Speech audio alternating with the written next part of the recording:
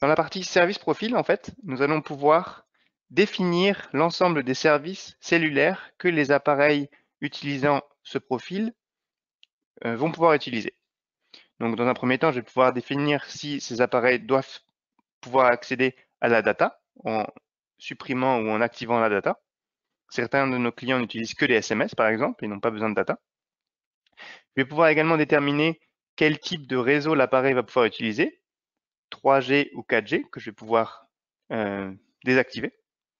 Et au niveau des SMS, je vais pouvoir choisir si mon appareil devrait pouvoir recevoir ou envoyer des SMS. Une fois que j'ai choisi tout ça, il me suffit de sauvegarder. Et l'ensemble des endpoints utilisant le service profil appelé service profil webinar vont avoir la même configuration.